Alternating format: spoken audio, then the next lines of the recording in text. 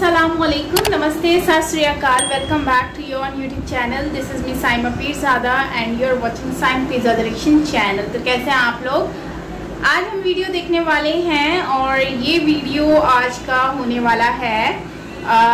जो है वो आपको पता है कि अभी रिसेंटली जो इंसिडेंट हुआ है और उसकी वजह से जो है उदयपुर में जो लोग थे उस टाइम पर जिन लोगों ने ये आँखों से मामला को देखा है और उसके बाद जो है वो वहाँ के लोगों का क्या रद्द अमल नज़र आता है वो लोग क्या इसके ऊपर डिस्कशन करते हैं उनका उनके उनकी ज़ुबानी जो है आज की हम पॉइंट ऑफ़ व्यू उनका जानने की कोशिश करते हैं कि वहाँ पर लोगों का क्या रिस्पॉन्स है। और क्योंकि एक मुस्लिम था उन्होंने जो है ये इस तरह की हरकत की है और आ, उसके बाद जो है वो आ, उ, उ, लोगों का अब क्या पॉइंट ऑफ़ व्यू होता है आ, इन मुस्लिम्स के रिगार्डिंग के वो इंडियन मुस्लिम्स पे कितना रिलाई करते हैं। So let's start the video original video का लिंक आपको मिल जाएगा डिस्क्रिप्शन में। सो आप वहाँ से देख सकते हैं। और अगर मेरे चैनल पर न्यू है तो सब्सक्राइब करना मत भूलिएगा। बेल आइकन कॉल नोटिफिकेशन भी प्रेस करेंगे तो ही आपको ये वीडियो जो है, हमारी न्यू वीडियोस मिलती रहेंगी। So let's start the video ये महाराणा प्रताप की भूमि है हमें हैंड टू हैंड चाहिए हमें महाराणा प्रताप और शिवाजी जैसे लड़े हम लड़ेंगे अपने धर्म के लिए लड़ेंगे ऐसे मर्डर आगे भी होते रहेंगे हमारी पुश्ते फिर कहाँ जाएगी? मैं तो मैं आज खुद मैं मेरे लेवल पे मैं पर्सनली कसम खाता हूँ कि मैं ज़िंदगी में कभी किसी मुसलमान से न तो कुछ खरीदूँगा न मैं उसको कुछ ऐसी उसकी दुकान से कुछ दूँगा मैं।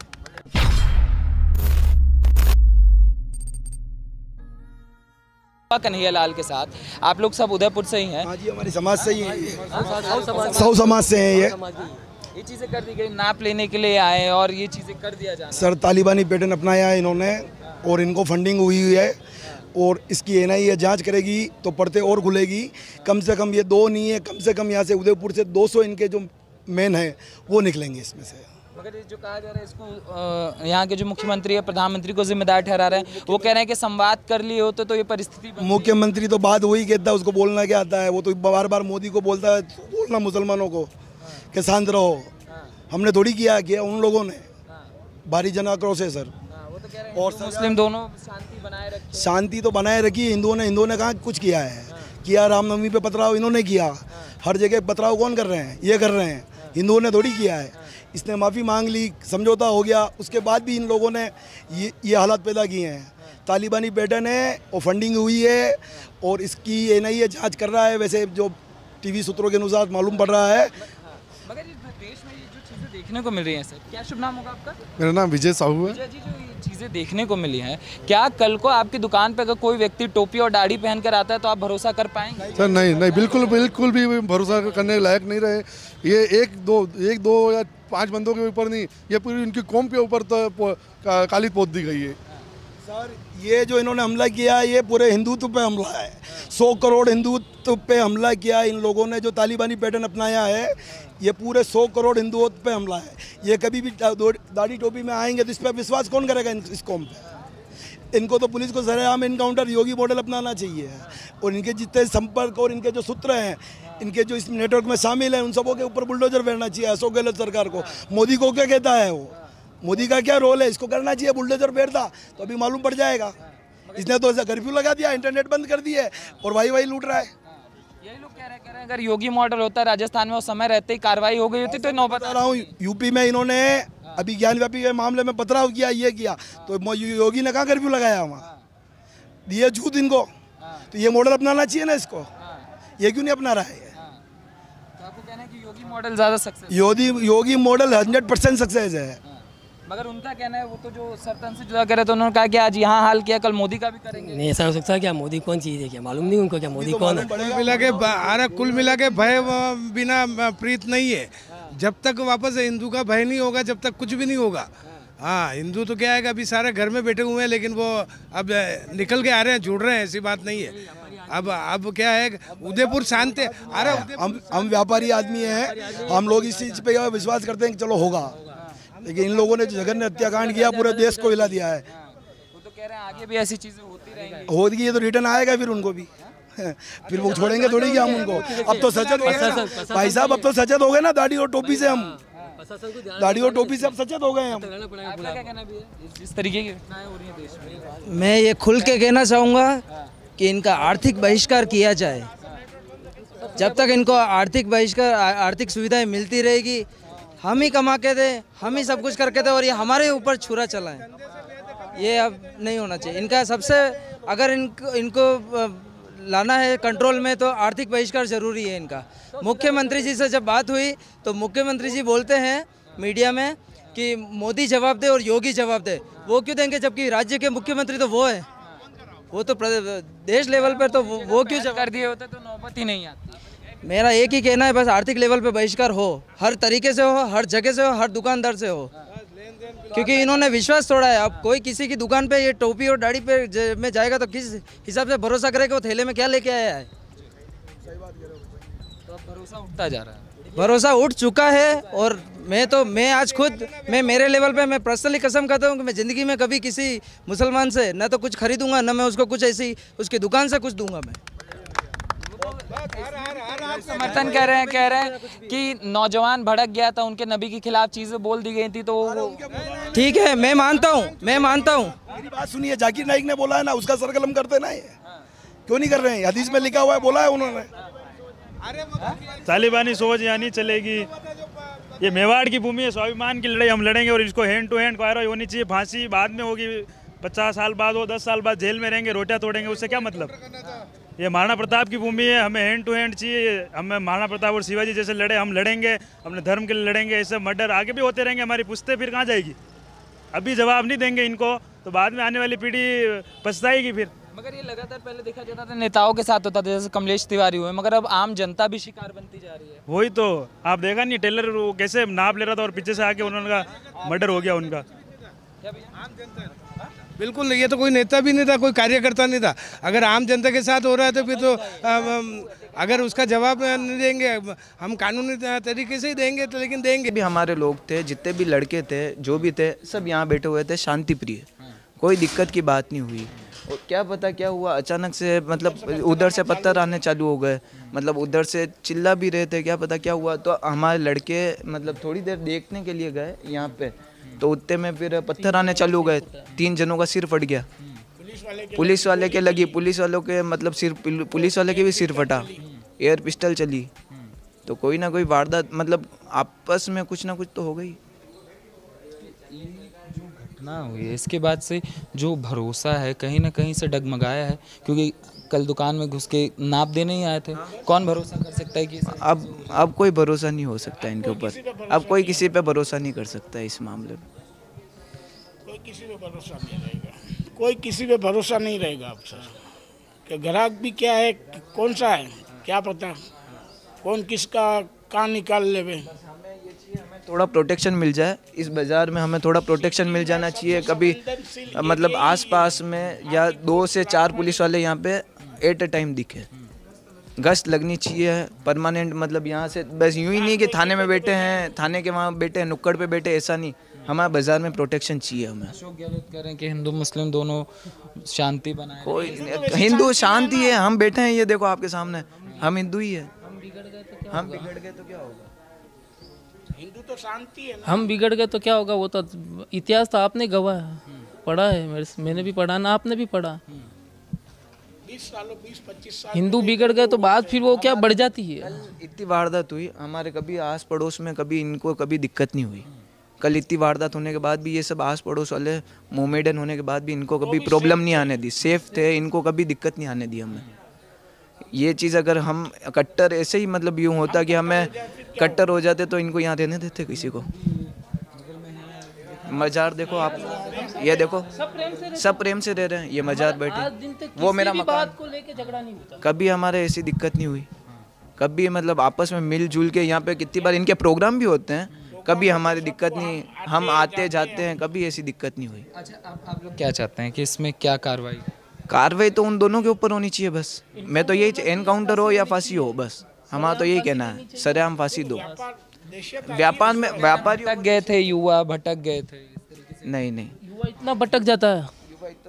समझदार मैं भी युवा हूँ युवा इतना भटक जाता है कि किसी का मर्डर करके लाइव वीडियो डाल देंगे। मर्डर। तो नहीं कहा जाएगा सर आतंकी घटना इसे मर्डर मर्डर करने के बाद लोग छुप जाते हैं भाग जाते हैं इन्होंने तो आप कह रहे हो युवा भटक गया।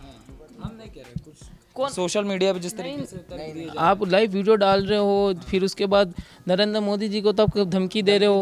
ये भटकने की बात थोड़ी ना आती है। नहीं नहीं नहीं नहीं। ये भटकने की बात नहीं आती है। बट सिखाया गया है या तो फिर ये इनको कहीं से सिखाया गया है?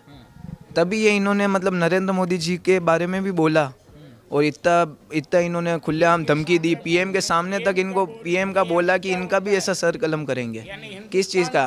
हिंदुस्तान को हिला रहे हैं ये। इनकी इतनी औकात होगी क्या? कि ये पीएम मोदी का सर कलम करेंगे। कह रहा मौका मिलेगा तो मौका मिलेगा वो मौका कैसे मिलेगा इनको? हाँ?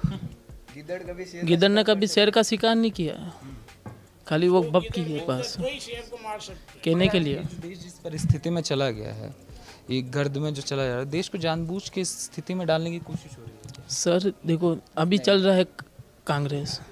हमारे यहाँ तो कांग्रेस है बस इतना तो अगर आप कार्रवाई सही तरीके से करो आपका प्रोटेक्शन सही तरीके से हो तो कोई वारदात ही नहीं होगी।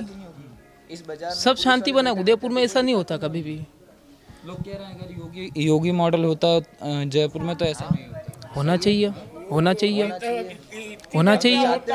भगवान आना चाहिए। जिस तरीके से रैली हिंदुओं की रैली निकली तो उसमें पत्थरबाजी हुई थी। अगर योगी मॉडल अपनाया गया होता तो ये स्थिति नहीं है। सही है हकीकत है हम तो चाहते हैं यहाँ योगी हो।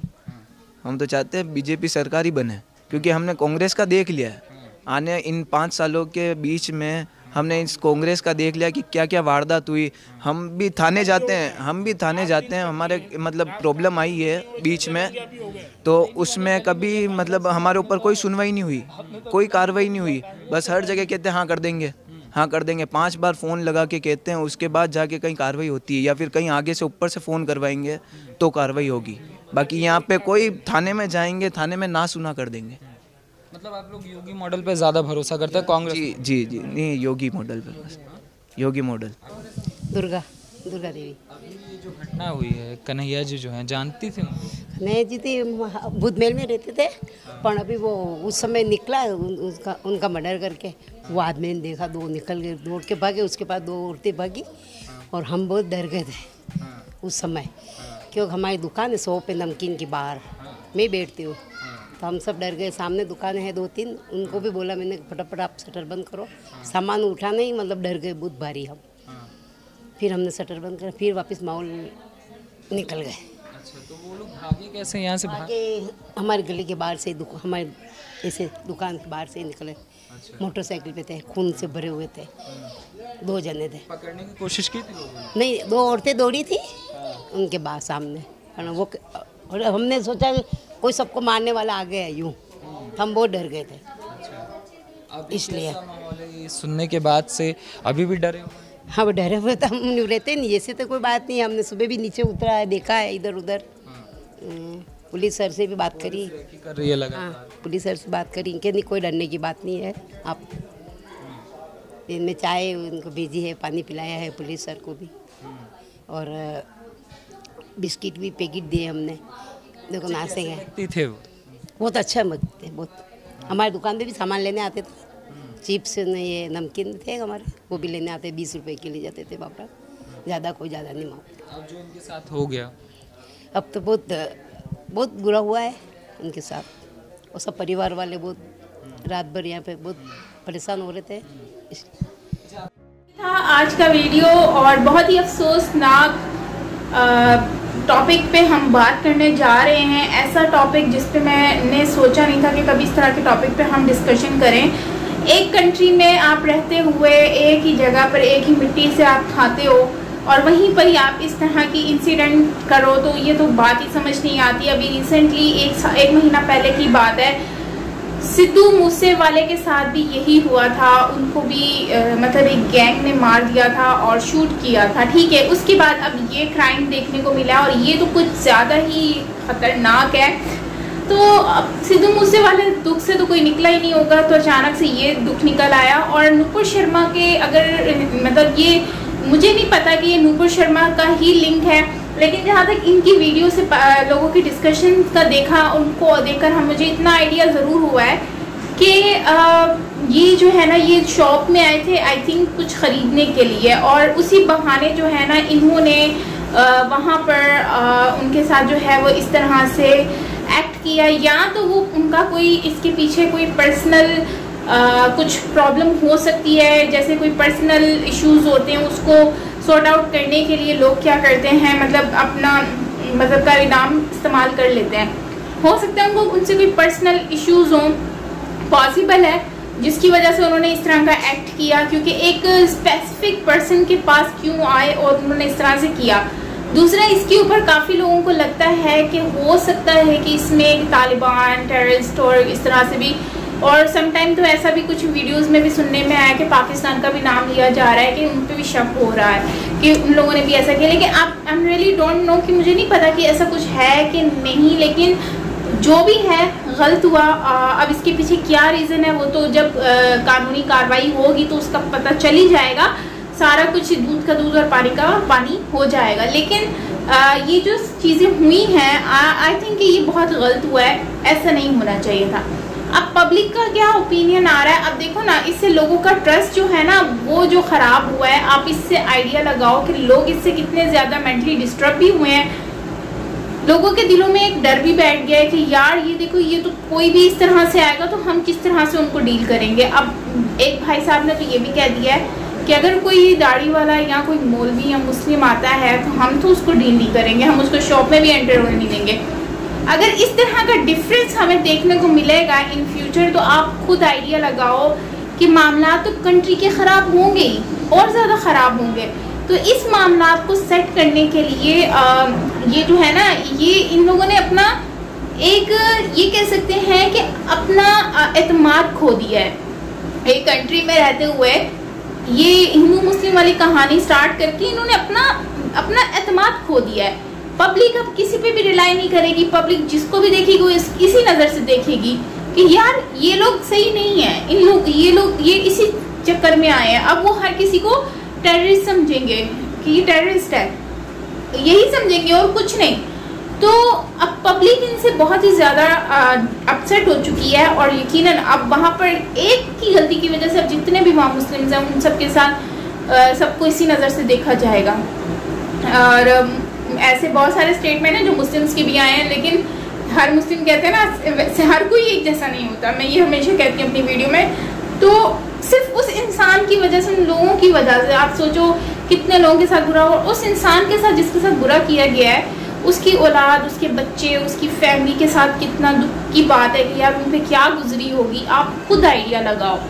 और वो फीमेल की जो बातें मैंने सुनी है, उससे तो मेरे रोंगटे खड़े हो गए हैं। जब उन्होंने ये बात कही है कि हम जो है ना हम लोग इतने ज़्यादा मतलब खड़े हुए थे और अचानक से वो लोग खून से लिपटे हुए आए ना हम लोग डर गए। हमें लगा कि हम सबको मारने आए हैं। आप इससे आइडिया लगाओ कि कितने खौफजदा हुए होंगे कितने वो डर गए होंगे कितने उनके तो उन, उनके तो रोंगटे खड़े हो गए होंगे कि यार ये हमारे साथ हुआ क्या है? समझ नहीं आता यार ये लोग इस तरह से कर कैसे लेते हैं? इन लोगों में इतनी हिम्मत कहाँ से आ जाती है? सरेआम आते हैं, कोई डर नहीं, कोई खौफ नहीं, और आए हैं, एंटर हुए शॉप में और अपना काम पूरा किया और निकल गए और और ऊपर से मोदी जी को, इंडिया के प्राइम मिनिस्टर को इन्होंने धमकी दे रखी है कि हम इसका भी यही हाल करेंगे। मतलब बहुत हिम्मत है भाई इन लोगों में। और एक प्राइम मिनिस्टर यार प्राइम मिनिस्टर को इस तरह की धमकी देना, एक कंट्री में रहते हुए हाउ इट इज़ पॉसिबल यकीनन अगर इसके, इनके पकड़े गए ना इसकी खैर नहीं होनी है। ये तो कंफर्म है और इतनी हिम्मत इन्होंने रख के बात की है ना तो यकीनन इनके कोई ना कोई सीन तो है भाई, इसके पीछे कोई ना कोई तो चीज़ है। ये बात तो माननी पड़ेगी कि इनके पीछे कुछ तो है जो इन्होंने इस तरह से बात कही है, वरना इतनी हिम्मत नहीं होती है। जैसे वो सिद्धू मूसे वाले के साथ हुआ था तो उसमें जो है ना, सलमान खान को भी धमकी दी गई थी कि हम इस तरह उसके साथ भी होगा। तो खैर गाइज़ आपका क्या कहना है? कमेंट सेक्शन में बताना इस वीडियो से रिगार्डिंगली बाकी मिलते हैं नेक्स्ट वीडियो के साथ। अपना बहुत सारा ख्याल रखिएगा। Till then take care bye